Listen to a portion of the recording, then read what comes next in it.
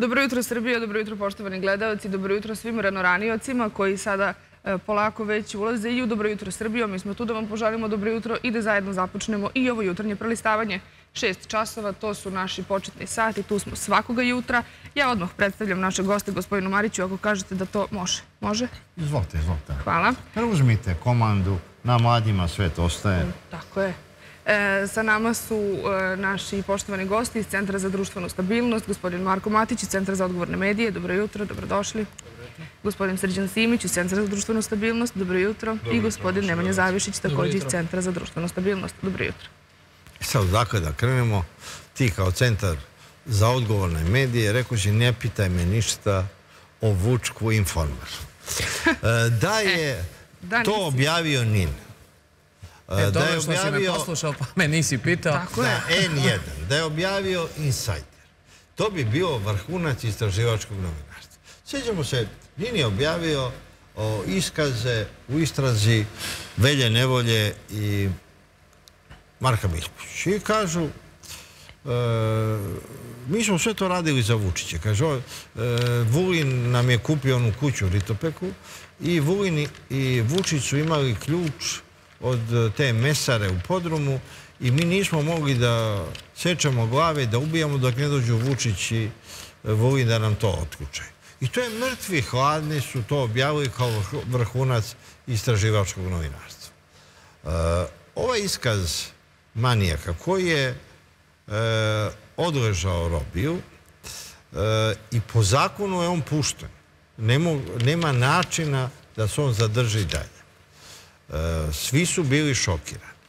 Ja mislim da, e, na, da e, njegov iskaz još više je šokirao narod. Da li da takve ljude puštam? Do, pravnici, e, i advokati, i razni, i psiholozi, i psihijatri su govorili da nema načina da se on zadrži. A s druge strane, ovakva šokantna ispovest je dokaz koliko je taj čovjek opasnost.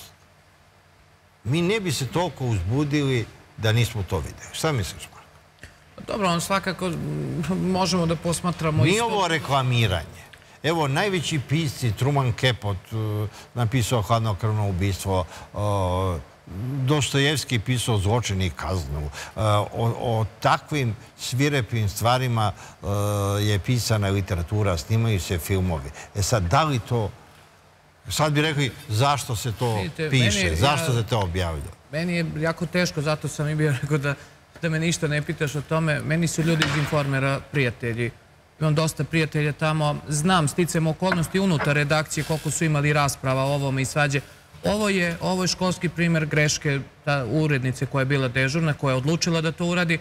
Ali šta se ovdje događa? Vidite, i to su greške koje niko se... nije prave. afirmisao nasilje Ne, i ne, silu. ali ima, ima, ima jedan ovdje jako važan moment na koji bih ukazao. Znači, i to su se pravdali i, i sa Nove S u toku, u toku korone, kada je bilo vanredno stanje, kada su objavili onaj skandalozni njihov istraživački navodno prilog, kako u, u kliničkom centru Vojvodine nema opreme, nema ničega, pa su se ljudi... Ništa od toga nije izazvali tačno, su nije ni paniku. dokaz. Nije bilo tačno, ali vidite, i oni su se pozivali, kažu, posao je novinara da uvek, uvek uh, objavi činjenice i šta je istina. Tako su se i u Informeru, znam, sticam okolnosti, kada je bila rasprava oko ovog intervjua, jedan od urednika je rekao posao je novinara da dotakne perom svaki društveni Dobro, fenomen. ali neki Ali imaju pravo, a neki Ne, ne, nemaju. ne, ne, ali postoji jedan drugi moment. Dakle, to jeste posao novinara, ali uvek mora da ima na umu da doprinese i da zaštiti javni interes. U ovom slučaju to nije urađeno. Znate, kog da je ovaj prilog obrađen, da je ovaj prilog obrađen na taj način, da je pušten jedan deo tog intervjua koji bi skandalizovao javnost, ali da onda imate analizu stručnjaka, psihijatra, psihologa, e, socijalnog radnika, kriminologa, nekoga iz pravosuđa i da stavite jedan širi ali da evo, Ima. Evo, evo, najveći ekspert za kriminologiju, Dobri. Radovanić, kaže, profesionalno je što ste objavili intervju sa silovateljem, sada je svima jasno kolika je on opasno. Takvi ljudi, kao što je Igor Milošević, su nepopravljivi. Oni moraju da budu pod kontrolom, na obaveznom doživotnom lečenju. Oko toga je bila rasprava pre nego što je objavljeno. Jeste, ali, da li Mariću, da oni budu da- pod nadzorom? Da li oni smeju na On i ulicu? da? To je pravosudna, to je pravosudna tema i kriminološka, ali ne možete da pustite ispovest tog čoveka, jer znate šta, zanemarujete, zanemarujete osjećaj žrtava. i njihovih porodica. Kako oni da reaguju na ovo? Ali- Znate, to je problem. I kažem, ovde nije zaštićen javni interes na adekvatan način i ovo je apsolutno urednička greška. Apsolutno. I nemam, tu nemam nikakve dileme. Evo, gospodu iz Centra za, za društvenu stabilnost. E, pretpostavljamo da je, da je svima jasno da, da je Informer jedan dnevni list koji, e, naravno, živi od novinarstva, jer kao i svi drugi novinari, i da su oni prosto jure ekskluzivu. O ovom čoveku, konkretno Igoru Miloševiću, se govori već e, sigurno dve nedelje od kako je on izašao iz zatvora, on je centralna tema. Toliko je postao, da kažemo, popularan da su ljudi čak objavljivali kad god su ga videli. Da li to možda znači da su oni i neki, koliko god da su ljudi sada kivni na njega, moramo uzeti u obzir da je on, e, možda su kazne male po nečijem mišljenju, ali on je kazne koje, mu je, e, koje su mu pravosudno, na koje je pravosudno osuđen, odslužio i on je pravosnažno iz tog zakona, iz tog zatvora i izašao. Ne, mi smo juče čuli, prvi Da, put. da ga mi sad vratimo u zatvor zato što e, narod misli da njemu mesto nije na ulici. I nije na ulici, ali on je za tih 30 godina koliko je bio po zatvorima izgubio sve što je u realnom svetu imao. Dakle, E on sad, sad ima a samo... da li je on socijalizovan posle 30 godina? On je rekao da je prvi put silovao sa 14 godina, da je tad završio u zatvoru. E, tri, znači, za ovih 30 godina proveo je tri meseca na slobodi. E, psiholozi, psihijatri su rekli da su e, takve psihopate višestruki povratnici. Videli smo onaj stravičan slučaj Malčanskog berberina koji je na isti način puštan, silovao, vraćan, kako je oteo devojčicu. Cela Srbija e, je zajedno sa policijskim snagama pratila njegovo hapšenje e, i on je sad i umro u zatvoru, ali stigla ga je zaslužena kazna. E, kako da takve ljude pustimo na ulicu? Ili oni moraju ceo život e, da završe ili u zatvoru. Bilo je nekih govora da su donese zakon o obaveznoj kastraciji takvih psihopata. Da, to u svetu postoji. E, borci za ljudska prava, borci, e, oni koji su e, juče krenuli na Vučićevića, oni su se izborili da se ne donese taj zakon jer je previše restriktivan i, Da, i kao onda- gušenje e, ljudskih sloboda. Ali- I da i manijaci imaju pravo na slobodu. Ali onda se opet s druge strane isto smatraju da nije previše radikalno doći ispred redakcije informera i tu čekati glavnog i odgovornog, odgovornog urednika e, koji samim tim što jeste glavni odgovorni urednik ima i odgovornost za sve ono što se... Ali zar nije potpuno pogrešno? Ljudi su malo izgubili svest. Kako, mo, kako može neka javna ličnost da poziva javno na linčovanje nekog čoveka, kogod on bio? Dobro, evo videli smo Niko policiju. da- to su da da bili izigrava kordoni Boga, policije ispred uh, informera na ulici. E, policija je imala striktno naređenje da e, ne napada demonstrante. I praktično policija je, je gledala kako pokušavaju da linčuju e, Dragana Vučićevića. Ovo je napad e, ne zato što su objavili ispovest ovog psihopate, nego zašto je Vučićević e, na strani Vučića. I nemoj da se lažemo. Svi oni koji su došli da napadnu Vučićevića, koji su ga udarali, koji su ga psovali, koji su na... Jedna žena ga je šutnula, jedna Evo ga je šutirali, ogrebala. evo e, sad e, samozvani slobodari e, na društvenim mrežama čestitaju e, toj ruci koja se treba se pozvati koja je udarila Vučićević. Je ovo napad na Vučića ili na Vučićevića? Ja bih se vratio na početak ovaj, vašeg pitanja, ono se upravo na ovaj intervju. E, U današnje vreme kada možete gledati reality programe i na televizijama sa nacionalnom frekvencijom, da su oni sastavni deo faktički svakodnevnog programa i da u tim reality programima. Takođe imate ljude sa raznim dosijejima iz kriminogenih sredina, ljude koji su Ne, počinili razna celu krivična dela. da oni e, ima ludaka koji priželjkuju da se ovaj manijak pojavi u realitiju. I kaže to je sigurna kuća za njega. I šta hoću da kažem? e, Toliko ima ludaka u Srbiji da bi, da bi to i poželili. I oni bi to gledali. Po celu noć bi ga gledali. A opet kao to navodno zato što je bolje da bude jel u realitiju, da ga gleda cela nacija, nego da bude, Da na bude ulici pod gde potencijalno može da nekoga i Nisam neko ko je ljubitelj i ko podržava reality program, pogotovo ove danas kao što se prikazuju, ali ono što hoću da kažem je da pored takvog jednog programa koji možete da gledate faktički 24 sata i gde se ljudi raznih profila nalaze upravo tamo, a, gde smo mogli da svedočimo raznim situacijama u tim realitima, gde su pojedinci koji su izašli iz realitija pričali ili su tamo direktno pričali o krivičnim delima koji su radili tokom svog života. Dobro, bilo je i nekog hapšenja u sred reality. Bilo je čak i hapšenja, naravno. Jeste, bilo je sećam. danas se podigla e, fama oko toga što je jedan dnevni list ili kako god napravio intervju sa čovekom koji je osuđeni silovatelj. A, u ovome što sam malo pregovorio u... u Čekaj, da li bi to bilo moguće na američkoj televiziji, u američkim medijima, u engleskim, bilo gde? Pa verovatno da bi, ne vidim za- razliku da. između njih i, i Čak naših bi još medija. drastičnije bilo.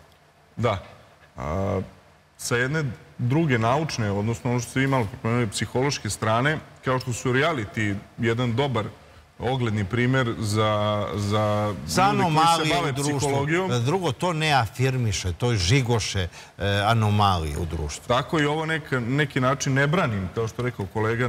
Ne mislim da je Niko to, to dobro prikazivati za široke ovaj, narodne mase, ali opet s druge strane jedna izuzetno redka prilika da čujemo intervju sa nekim ko je osuđeni silovatelj, kao što rekli prove preko 30 ili 30 godina u zatvorima i ono što je činjenica to je da, da je danas on faktički slobodan građanin i da Nije. redka je prilika, redka je prilika e, Ne znamo da li je zvanično pod nadzorom. On jeste pod nadzorom. Zakon nalaže da svako ko je višestruki silovatelj i koji je u, toku, u tim procesima proglašavan za, e, za čoveka koji je opasan po celo društvo i za sebe i za okolinu. On je dva puta pokušao da se ub- ubije u zatvoru. On je apsolutno pod e, pratnjom Ministarstva unutrašnjih poslova posredno Dobro, ali ili ima neposredno. zabranu, nastupanja na televiziji.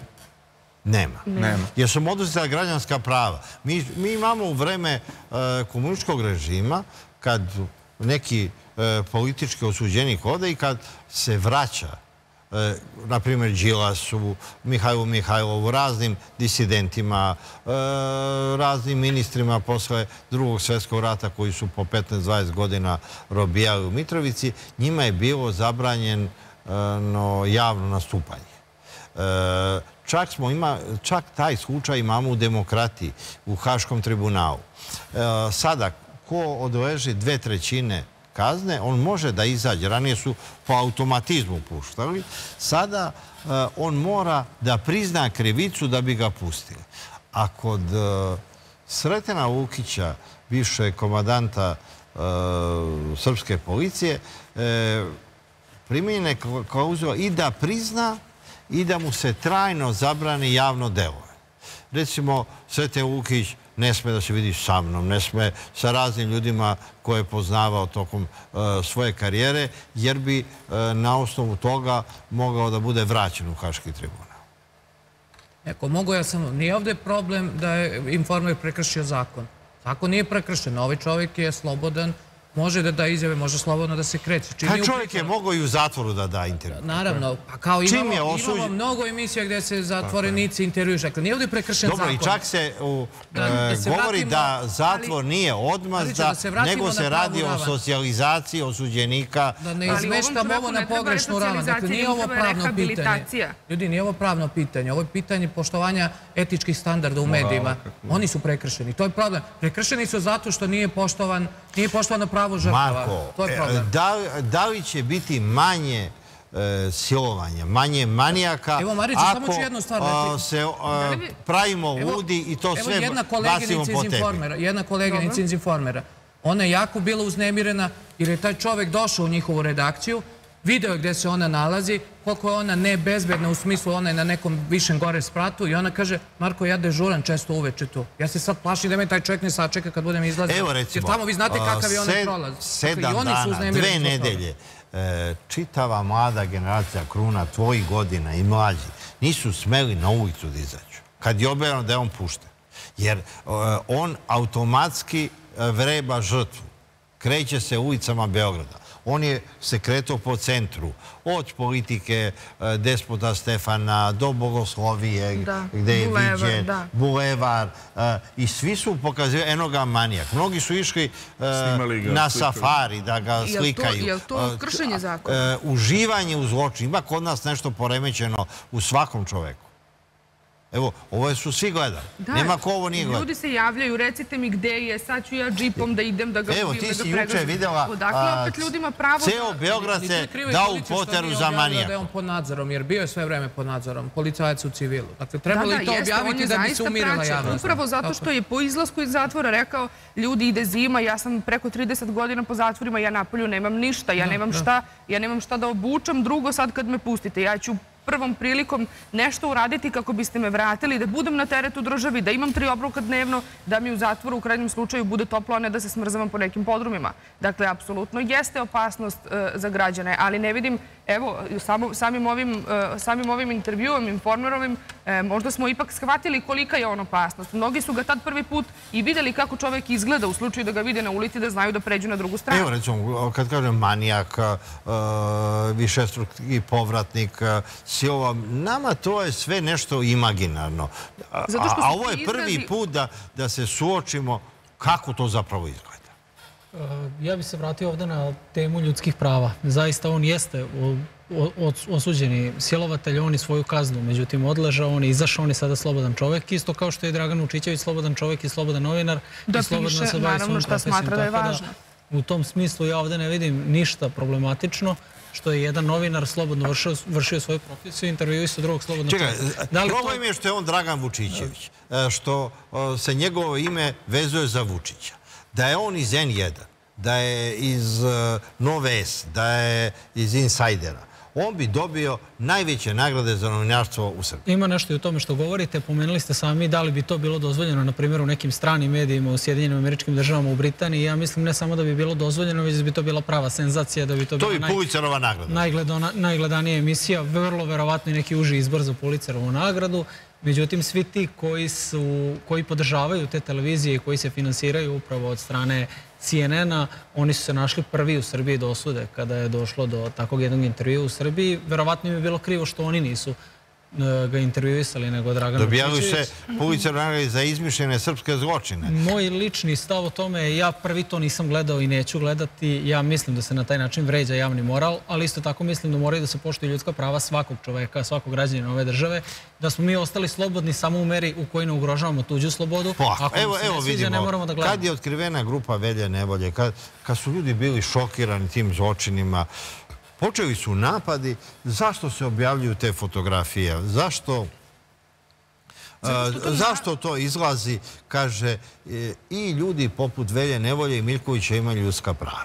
E, To izlazi u najprestižnijim našim nedeljnicima i na televizijama koji kažu da su e, glas istine, da su jedine profesionalne e, televizije u Srbiji. Oni su se tada utrkivali sa nekim drugim medijima ko će prvi da objavi i što šokantnije fotografije.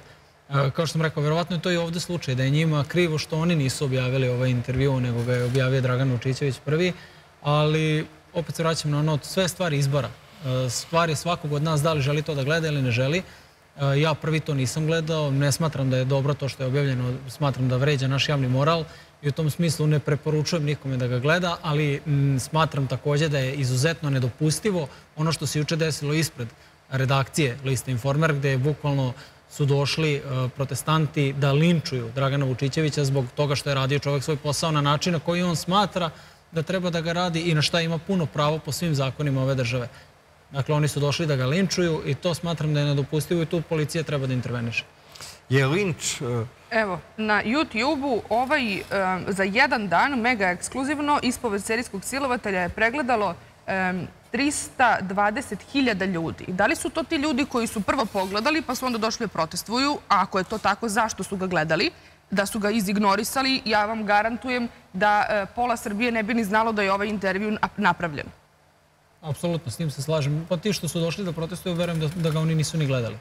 A Verovatno- protiv Ne, čega gledam, onda protestuju kad ne znaju šta rade? protiv Vučićevića. Njima je cilj to. Dakle, opet se vraćamo na početnu tačku. Ovo nije protest protiv silovatelja, već protiv a ne ovo. odgovornog urednika. Ovo je samo Jedan povod. Jedan povod.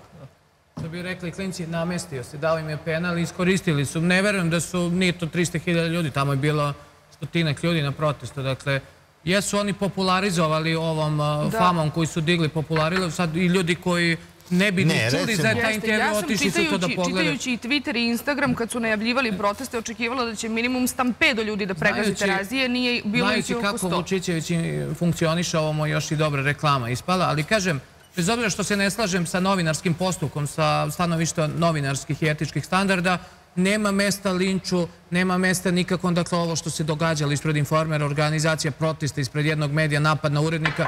Dakle, čak i ako je napravio novinarsku grešku... poslanici. Da, to... da, ima, Ako je napravio novinarsku grešku, ne treba čoveka linčovati i obesiti zbog toga. Dakle, mnogi su pravili greške pa nisu, nisu bili izloženi takvoj, takvoj, Ali takvim recimo napadima. objavljivanje ovakvog uh, I- i intervjua, samo da kažem, nema a mesta onda politizaciji. razgovor u kom učestvuju uh, stručnjaci. Ja mislim da je to jedino rešenje. I šta da se radi u tim uh, situacijama, da li takav čovjek da ide na ulici i da se vrati u zatvor? da se napravi jedan kao dokumentarna emisija o tome.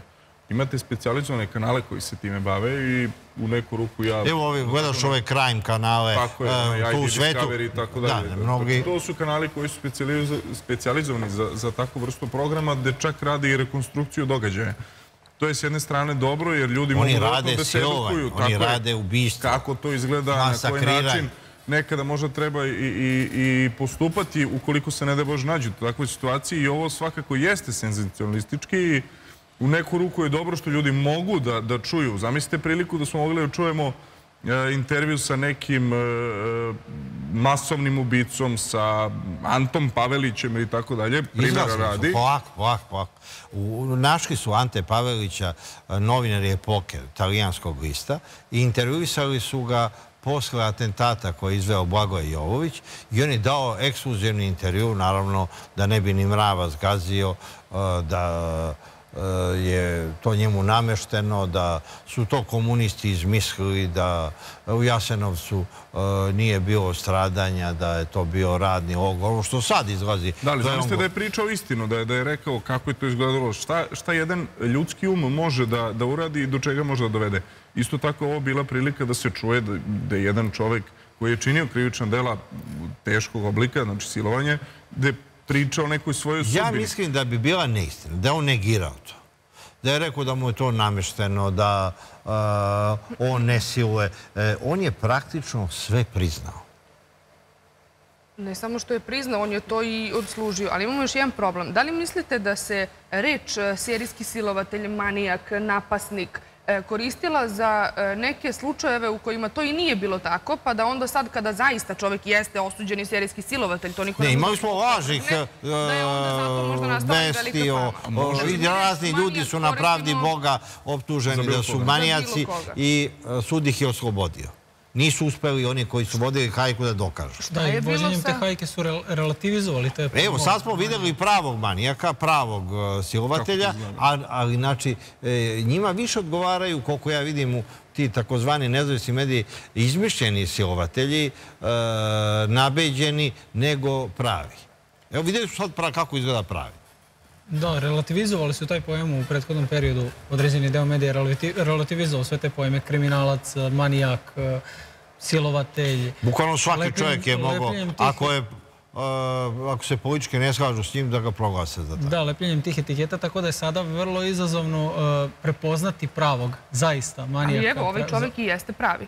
Mislim, ako već tražimo... Ali to njegovo etiketiranje i, to čega mogu, mogu i mediji čak da doprinesu, ne na ovaj, e, u ovom slučaju informer, nego svi ostali, kao ljudi koji ga snimaju, slikaju, kače po društvenim mrežama, mogu upravo da dovedu do toga, do tog nekog revolta, da će, ne da Bože, čovjek kad to... Dobro, a ovo je uživanje da u zlu. i tako dalje. Da Ko tera te ljude da jure ga po ulici, e, čak ima ljudi neki prave i selfije s njim. E, To, to je, Da, to je sud. čovek, kako se kaže, da postane narodni heroj.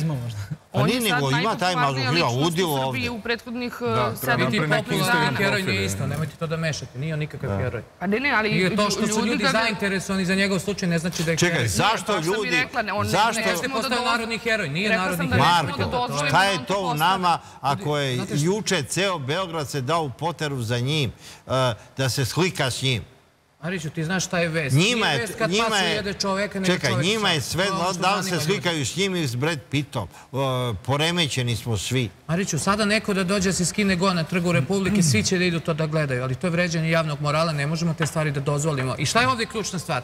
Pa neće i javnost i neće ovi ljudi što ga jure da reše. To je, mi imamo sistemski problem, imamo jednu rupu u sistemu, u zakonu, Upravo kada takav čovjek može slobodno da šeta. Ali nećemo to rešavati mi kao građani. Zna se ko to treba da rešava. Postoje nadležne službe. Bi da Oni ga drže pod nadzorom. Oni ga drže pod nadzorom. Mora se organizuje stručna rasprava da se pronađe način kako da se neutrališu takvi slučajevi. Ne da se neutrališu fizički, već da ne predstavljaju opasnost po društvo. Mi imamo sistemski problem, ali ne rešavaju to novine, mediji i ljudi koji nisu stručni u toj oblasti, a većina ljudi je laički Evo da pristupa tom napravimo, da problemu i napravimo jedno emotivno. poređenje. E, Informer objavlju- objavljuje ekskluzivan intervju sa čovekom koji je odslužio e, svoje kazne, nije važno sve, i da je bio u zatvoru pa da su ga tamo posetili. Čovek je osuđeni serijski silovatelj. Šta ćemo sa svima onima koji su se lepile etikete da su silovatelji bez da je to ikada dokazano, a da su onda iste te navodne žrtve prvo odlazile u dnevne tabloide i davale izjave. Tada im nije smetalo da se to provlači kroz naslovne strane, a sada... I otkrivali su detalje, da li prave, smeta. da li izmišljene. e, Govorite o glumcima, učiteljima glume i slično, da. ovim e, džokejima, sve, jahačima, da. tako je, da. Znači onda, onda, onda naslovne strane nisu problem o kada je na, na profesorima naslovnoj strani žrtva, arhitektonskog a kada je fakulteta silovatelja, onda je nema problem. gde nije. E, praktično o Srbiji je poslednjih godinu, dve otišla priča Žrtve da je zemlja manijaka, stave u istu ramu, ludaka. to tako, ne, ne. Evo je šta, šta se sve... Najgora moguća. Ali, ne, ne, ne. možete u istu ravan da stavite žrtvu i silovatelja. Znači, to su dve potpuno, to nemojte da radite. To je, Ali zar ne kako mislite kažem, da bi bilo odgovornije silovatelje držati na naslovnoj strani i reći ljudi, to je ovaj čovek, ako ga Bežite, vidite, evo, bežite, kao- prijavite. to su kao poternice ne, i ova je žrtva, intervju pa je kao da poternica. Ljudi, Za njim nema bežite od njega. boja. Ljudi, ne izdaju se javne poternice, ne postoji. Dovešće do linča Kako njega. po Americi Evo, na divljem znači, zapadu, na svim Mariću, nismo aerodromima. divlji zapad, ljudi, dajte, ne, možemo da postanemo, ubiće neko tog Je- čoveka. Kako, a, A ubiće ga neko. Ko će, evo, ako neko, vidite, sada što se diglo u javnost, dozvolite mi samo, ako mogu da kažem. Ako, ako Čekaj, ti sad braniš njega. Ne, Čekaj, ja ga čekaj, ne čekaj, branim. polako, ja kažem, polako. dovešćete do toga da ga neko, neko će da ode, ubiće ga. Ko će bude Informer je odgovoran za to? pokazao prstom na njega, ti sad njega uzimaš u zaštitu.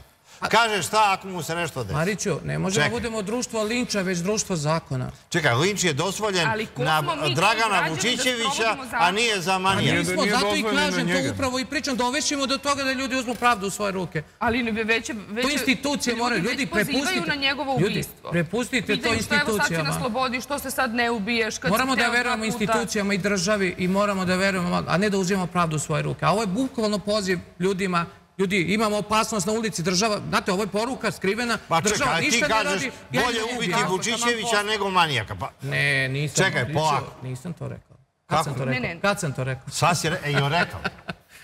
Apsolutno ne, apsolutno ne. To niko nije čuo. Evo, milion ljudi Ne, nas gleda, niko nije čuo. niko ne govori o linču, ali mi moramo o svemu znati i informisati se. U krajnjem slučaju ovo je, ovo je tema koja interesuje narod, pa ne bi ni taj e, Dragan Vučićević e, jurio silovatelja da nije znao da će to biti najčitanije novine i juče i danas, a evo i sutra. Vidite, svi oni prodaju senzaciju i to nije ništa tome novo. se radi, Daleko znači, od to je toga, ali novinarski posao. ovo pitanje što je rekao malo pre Pitanje kolega, to treba sistemski Dobro, rešiti. Da li najveća tog polako. treba vratiti Ne u taj zatvor, da nešto najveća radi? senzacija je Ako istina. kažete da je prekršena, ja I vama da, verujem. da ovo nije istina, ne bi bila tolika senzacija. Nije, sam, nije problem sam taj intervju, već E. način na koji je urađen. Problem je način na koji je urađen taj intervju, da je njemu data prilika bez učešća u tom intervju možda nekih stručnih ljudi, psihologa, jel psihijatara. mislite da ne postoje davanje ljudi koji nekog misle šireg da se ljudi konteksta. menjaju? Treba, treba neki širi kontekst da se da u odnosu na... Jedino Marko kaže da se on popravio. E, Čekaj, evo, da je se ja socijalizovao.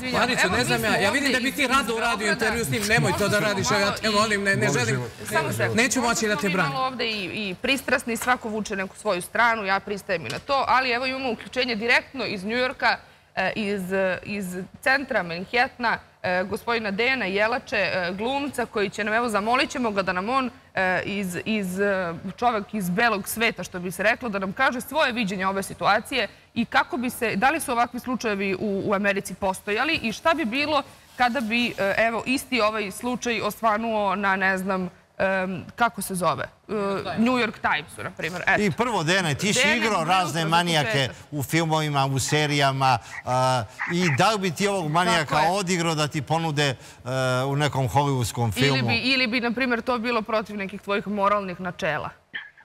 Pa ne, ovo je interesantno. Dobro jutro svima, naravno. Dobro jutro vama, dobro jutro moje Srbiji i gostima u studiju.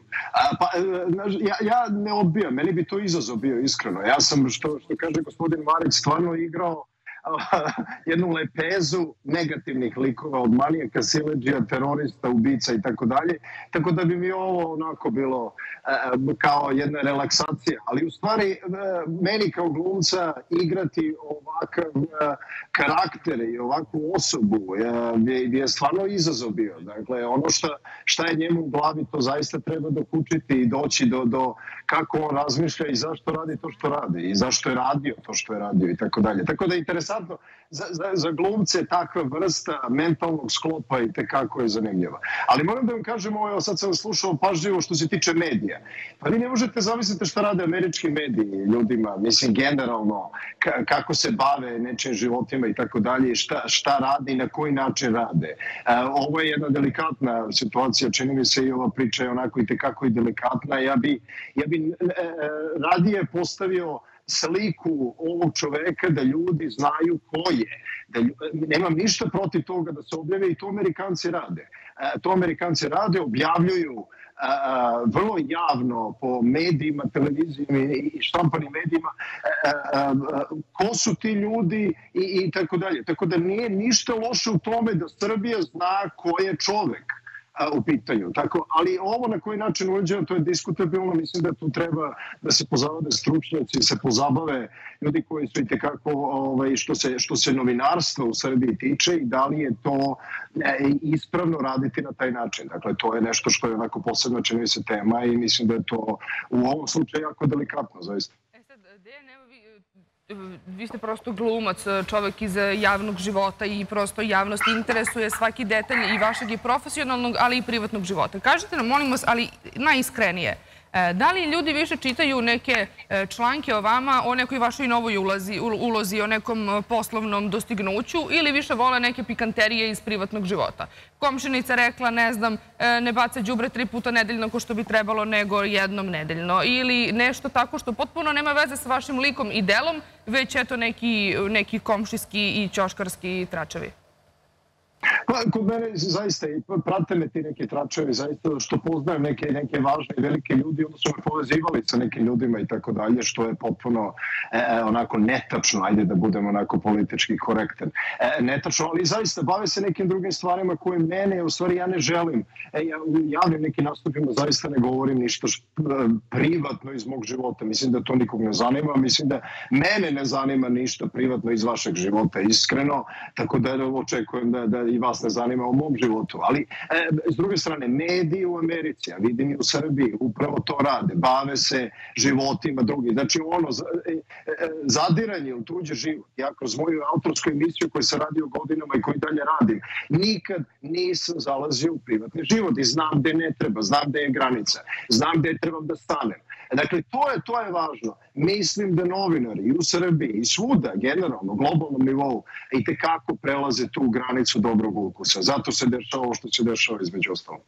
E, Dejane, zvali smo te da te pitamo šta se dešava na Floridi. Juče e, ujutru uključila se Olga Ravasi, govorila je o Floridi kao raju na zemlji, e, sigurnoj kući gde beže razne Trumpove izbeglice od Bajdena, da se sprema nova politička borba za kongres, senat. Međutim, ona je rekla sprema se uragan, možda će stradati Florida. Kakva je sad situacija tokom noći? Videli smo šokantne snimke. Kod nas postoji fascinacija nesrećom, zlom. To nije neki naš usud, nego tako je svuda u svetu. E, šta se desilo e, na Floridi. Olga ne može da se uključi, prekinete su sve veze, možda nam šalje poruke, e, ne može da se vidi ni slika, ni ton. Šta se zapravo noćas desilo na Floridi? Pa, strašne slike dolaze iz, sa, sa Floride zaista i ono što, što jeste Florida je ta koja je nekako čini mi se uvek na udaru i svake godine čini mi se onako u opasnosti da se, da se ne desi ovo što, će, što se sada trenutno dešava e, u velikim i velikim gradovima Floride. Dakle, ono što jeste e, 2,5 miliona ljudi je raseljeno trenutno, dakle evakuisano, e, vi imate preko 100.000 ljudi koje je potpuno bez struje odsečeno, e, potpuno od svega. E, dakle, strašne, zastrašujuće slike dolaze, dolaze, dolaze iz Floride i ono što jeste zaista e, e, tragedija ta, zato što čini mi se da ljudi ne, ne prate ona upozorenja vlasti da na vreme se evakuišu i napuste.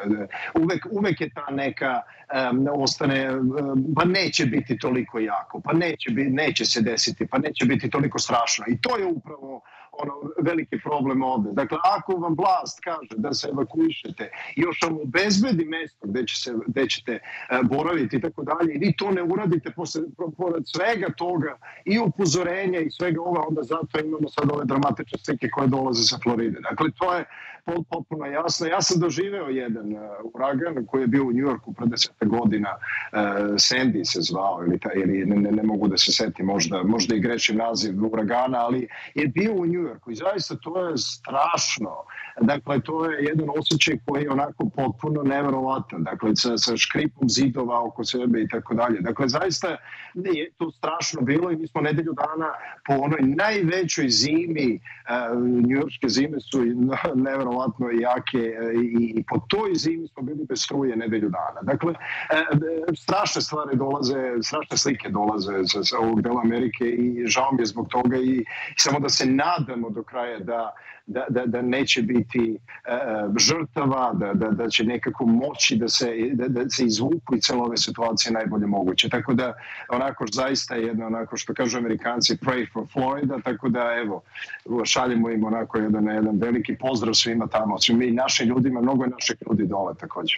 Ali imali smo uh, ovakvih situacija kad je Katrin bukvalno počistio San Diego kad su vetrovi stizali do Dallasa, do Houstona, do aerodroma. New Orleans, New Orleans, da. New Orleans je Katrin, da.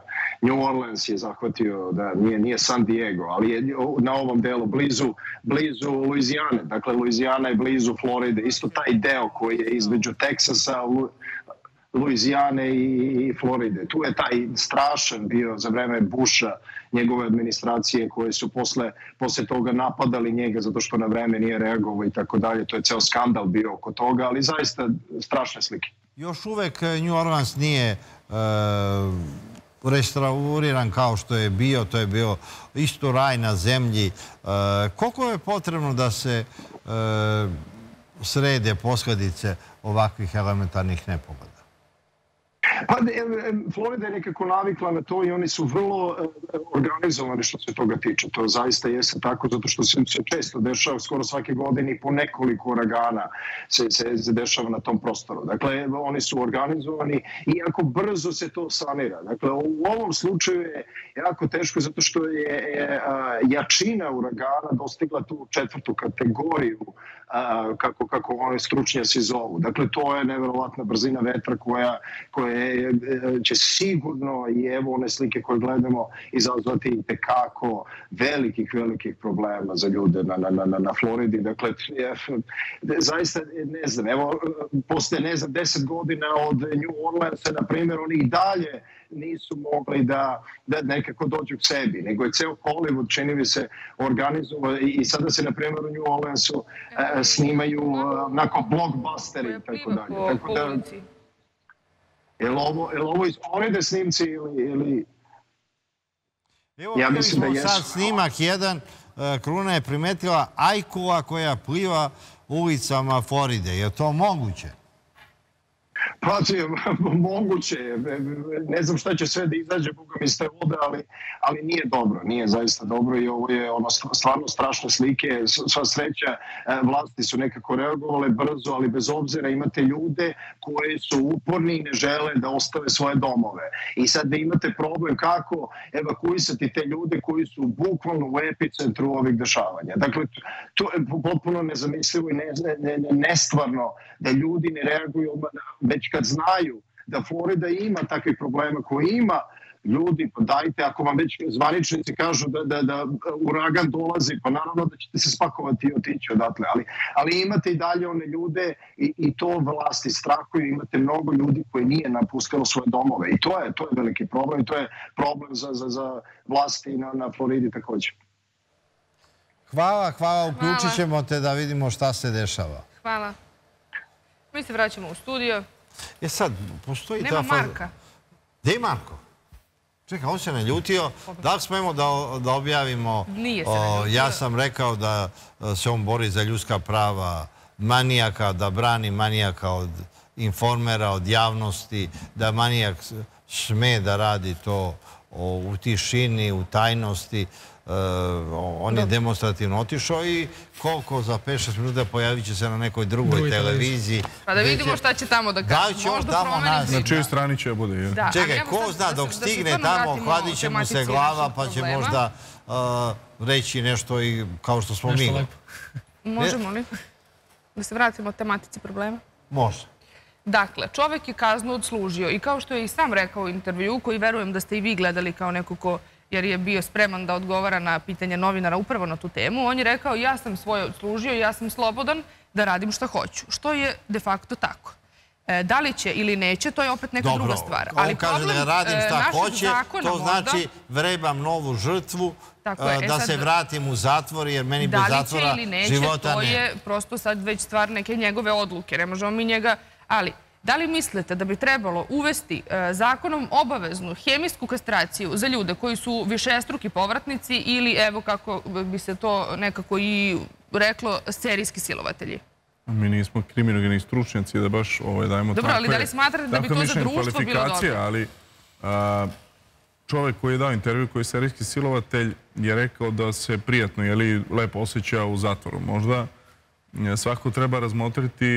Ali ja on sam je to i u zatvoru dvoje ljudi pokušao da ubije. I sebe dva puta. Samo malo završim. Znači, ako čovek e, smatra da se tamo osjeća donekle prijatno i da mu je e, da je to neko okruženje gde, gde je on i navikao čak da bude, možda treba vidjeti sistemski kako rešiti njegov uslovno rečeno problem, da ga neko ne bi linčovao ili da on ne bi sebe u situaciju da opet nešto uradi, da ga sistem integriše, da ga faktički možda Kako? čak i zaposli u tu zatvorsku ustanovu. Ako da stručnjaci kažu da je nemoguće socijalizovati takve ljude. Pa ne možemo ga ubiti. To je činjenica. Da. Srbija je potpisnica Evropske konvencije o ljudskim pravima i ne možemo upravo zbog toga i pomenuli ste hemijsku kastraciju, nije to pravno izvodljivo kod nas. E, Ali da li mislite da bi trebalo možda da bude? A ja Jer mi očigledno rešenje Ne, za ovog ta čoveka inicijativa nemamo. nije naišla na Odobrenje, a, ali možda, evo sad- Stručnjaci su rekli da je to antiustavno, da... A to bi bilo e, protiv našeg ustava, protiv Evropske konvencije o ljudskim pravima i to bi bio jedan civilizacijski korak unazad za Srbiju. Mislim da zbog ovog pojedinačnog slučaja svakako ne treba Čekaj, da civilizacijski napredak da ovakvi manijeci Ne izađu napredak. da šetaju ja sam ulicu. više- ja I da više- ljudi trče da se slikaju s njima nije- i prave selfie. Nije napredak. stvarno ništa nije jasno. Nije to civilizacijski napredak. Civilizacijski napredak je što smo mi usvojili Evropsku konvenciju o ljudskim pravima i integrisali u naš ustav, a što se tiče ovako pojedinačnih ovih slučajeva, to bi trebalo država da nađe neki sistemski način kako te ljude da integriše u društvo, opet poštujući njihova osnovna ljudska prava i slobode. Dakle, mi tog čovjeka ne možemo ubiti i ne treba da ga ubijemo, ne možemo ga kastrirati i ne treba da ga kastiramo, već treba kao sistem da pronađemo način kako da ga integrišemo u sistem, a da on ne ugrožava svojim postojanjem drugi ljude. Da li će to biti na taj način to je kolega malo pre rekao, da što ćemo se naći neko zaposlenje u zatvoru. Da li će on biti trajno smešten u neku medicinsku ustanovu do kraja života? E, mnogo je tu različitih opcija o kojima se može pričati, ali- ali mislim da svakako nije opcija da tog čoveka To ubijemo i da ga kastiramo i da ga na taj način izopštimo. Evo, šta kažu ispovesti ljudi sa dugogodišnjih ro- robija? I ubice, i e, najveći lopovi, i prevaranti, svi oni budu dočekani u zatvorima kao ljudi. E, jedino se ne prašta silovateljima, e, dece, e, čak ni bračno nasilje i tako. E, oni dočekuje ih odmazda u zatvoru. Obračuna, linčuju ih sami zatvorenici. Mi ne znamo, u ovom intervju nije ovaj e, psihopata pričao šta mu se dešava u zatvoru, iako on kaže da mu je u zatvoru jedino dobro bilo. E, verovatno je kažnjen za ono što je uradio ko zna koliko, jer su ga drugi zatvorenici. To je, e, s njima, s takvim ljudima se niko u zatvoru ne druži. Upravo zbog takvog načina tretmana koji oni posle imaju u zatvoru, mislim da je resocijalizacija takvih ljudi praktično nemoguća. Dakle, Ja oni, u mislim da ste zatvoru, oni u u zatvoru ne dobiju tretman koji će biti usmeren u pravcu njihove resocijalizacije. Mislim na tretman od strane drugih zatvorenika koji već Ne, se... on je linčovan svakog dana tamo. To- Tako je, oni se brutalno življavaju na njima godinama tamo i upravo zbog tog to je jedan od dodatnih razloga zašto je I on je sad, evo, posle 30 godina robije gori nego što ikad. Ali upravo zato treba razmišljati u pravcu pronalaska nekog sistemskog rešenja za sve zatvornike tog tipa. Da li ih smestiti sve zajedno u jednu posebnu ustanovu, odvojiti od drugih zatvornika? Da li će to biti više zdravstveno? Ali ogroman je problem organizovati sve to. bolnica, Ali opet su oni u specijalnoj zatvorskoj bolnici zajedno sa bolnica, ostalim zatvornicima koji su tu zbog nekih drugih krivičnih dela. Evo, ja Ili sam- je pitanje za pravosuđe da li Ja takvi ljudi zaslužuju maksimalnu kaznu zatvora, doživotnu kaznu video sam u, u zatvoru i onog e, masovnog ubicu iz Jabukovca. E, ipak takvi ljudi su pod sedativima, oni nisu svesni ni šta su radili, ni... Ni gde e, su, ni kako su, da. Oni ne znaju da su u zatvoru, ne znaju. Ali mi imamo, mi imamo našim zakonom predviđenu jednu meru bezbednosti, to je mera obaveznog, e, traj, obaveznog Mera lečenja. bezbednosti se zove obavezno obavezno lečenje. lečenje u zdravstvenoj ustanovi koje može da traje po našem zakonu neodređeni period. Može i doživotno. Može da traje doživotno, može da traje sve dok se ne ispuni njena svrha, njena svrha je da se lice izleči od toga od čega Sve boluje. do smrti ja- kao što je bio Malčanski Da li mislite Tako je, da tako da u... mislim da je u ovom konkretnom slučaju možda izricanje te obavezne mere bezbednosti, obaveznog lečenja u zdravstvenoj ustanovi i njegove hospitalizacije možda jedno od rešenja u okviru našeg sistema koje imamo, koje bi opet ne bi narušilo ni njegova ljudska prava, ne bi dakle ugrozilo naš ustav, Europsku konvenciju o ljudskim pravima, a opet bi zaštitilo društvo od njegovog nekog budućeg Ali ponašanja. o- opet se vraćamo na jednu stvar. Evo, e, neka da uzmemo na, e, primer e, alkoholičara, kojih sigurno ima mnogo više nego serijskih silovatelja. Ali Da su bi daleko manje društveno opasni. U redu, nisam ništa ni rekla, ali samo sekund. E, da bi se čovek lečio od alkoholizma, prvo mora da shvati da je alkoholičar. Ali mi po intervju koji je ovaj čovek dao ne vidimo niti da se on pokajao, niti da shvata ozbiljnost situacije u kojoj se našao, niti da shvata ozbiljnost krivičnog dela koje je počinio. A zašto on mora to da shvata? Ne moramo mi lečiti Pa njega. mora- a Ne, kako on- da ga lečimo? On mora Nasilno? da se leči bez obzira da li on to shvata. Kako, Kao kako prinudno, biste ga vi kako- lečili? kako Batinama, šta to znači? Ne batinama, Kako, kako prinudno? lečili bi ga tretmanima, psihijatri, razgovorima. Mislite da to nisu Dobro. pokušavali Verovatno takvi godine? se leče e, elektrošokovima, e, lekovima. Lekovima, psihijatrijskim nekim razgovorima. Postoje određeni sigurno psihijatrijski tretmani, nisu to batine, nisu to prinudni načini uh, lečenja, međutim ne možemo uh, ga izopštiti od lečenja, odnosno uskratiti mu lečenje zato što on ne shvata da je to što on radi društveno neprihvatljivo. Šta to znači? To znači da ako ja sada nešto ukradem i smatram, ja ne shvatam da sam ja nešto ukrao, da meni ne treba ne treba me zbog toga kazniti. Ne, on upravo treba Ali da bude kažnjen, treba da kažnjen. bude izrečena ta mera bezbednosti, Bila da se on hospitalizuje i bez obzira na njegovo lično uh, ličnu percepciju toga što on radi, na njemu moraju da budu primenjene te medicinske mere. Dobro, ja sam poprilično sigurna da su zdravstveni radnici svih ovih zatvora i popravnih domova i svih ustanova u kojima je bio pokušali da mu pomognu, ali evo i stručnjaci kažu da ovakvim osobama nema e, pomoći resocijalizaciji. Pitanje je da li su Dakle, trebali da ga puste na slobodu. Ali na osnovu Ne, ne, kog ne, prava mogu da ga zadrže? Osnovu- Mogli su na osnovu prava Kog? izricanja mere bezbednosti obaveznog, traj, I gde da ga obaveznog lečenja u, u zdravstvenoj ustanovi. Koju? Specijalnu zatvorsku bolnicu. I tamo je mogao da ostane sve dok se ne ostvari svrha te mere bezbednosti, njena svrha je njegov Očigledno da su neki smatraju da- procenili da on može da izađe na To slobodu. je, to je činjenica. Očigledno je neko, Ne, ne, ne. Neko, je, Bez- neko je procenio da on može da izađe bez primjene te mere. Eto, to je odgovor. Znači, čovek E, je na se, slobodi. e, pa moramo da vidimo, nekčiji potpis je njega Da. I, ispitat ćemo ovu temu, nastavit ćemo ovim da se bavimo. Hvala vam najlepše što ste detaljno analizirali ceo ovaj slučaj. A mi sada idemo